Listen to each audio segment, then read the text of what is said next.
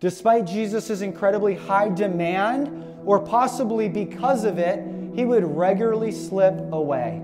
It seemed that the more in demand Jesus became, the more he would disappear into the quiet. Isn't that interesting? That as the demand went up, so did the withdrawal. Jesus understood something about his humanity that I don't stand a chance unless I abide with the Father. The hardest point in Jesus' life was not the crucifixion, but right before it, in the Garden of Gethsemane. I mean, he's sweating blood. It's excruciating. The word says it, he collapsed because he felt the weight of the world on his shoulders. And he means this when he asks, Father, if there's any other way.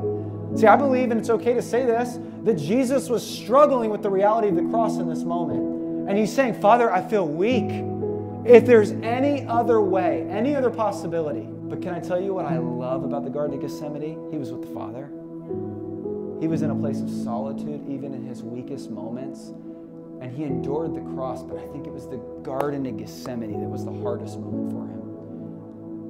If Jesus needed solitude, how much